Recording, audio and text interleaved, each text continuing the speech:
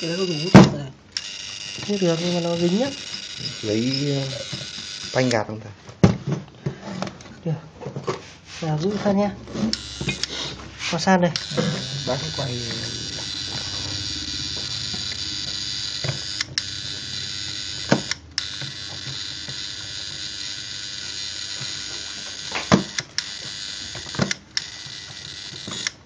Nhiều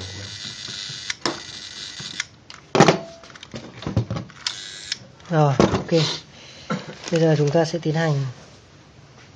Tiến hành. Lắp ghép về sau Đối với dòng 12V thì ta dùng tụ mười mấy V để sau bên sau Đúng rồi. 5V thì ta dùng tụ gì? Một tụ